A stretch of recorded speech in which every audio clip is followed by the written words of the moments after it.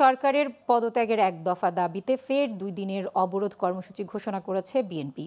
আগামী বুধবার ও বৃহস্পতিবার টানা আটচল্লিশ ঘন্টা রেল নৌ ও রাজপথে সর্বাত্মক অবরোধ কর্মসূচি পালন করবে দলটি বিকেলে ভার্চুয়াল সংবাদ সম্মেলনে এ কর্মসূচি ঘোষণা করেন বিএনপির সিনিয়র যুগ্ম মহাসচিব রুহুল কবির রিজভী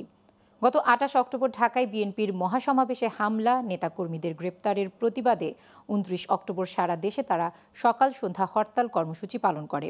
এরপর একত্রিশ অক্টোবর থেকে দুই নভেম্বর পর্যন্ত প্রথম দফায় বাহাত্তর ঘণ্টার অবরোধ কর্মসূচি পালন করে পরে একই দাবিতে দ্বিতীয় দফায় গত রোববার ভোর ছয়টা থেকে মঙ্গলবার ভোর ছয়টা পর্যন্ত সারা দেশে আটচল্লিশ ঘণ্টার অবরোধের ঘোষণা করে তারা বাড়ি বাড়ি তল্লাশি হয়রানি ও নির্যাতনের প্রতিবাদে এবং এক দফা দাবি আদায়ের লক্ষ্যে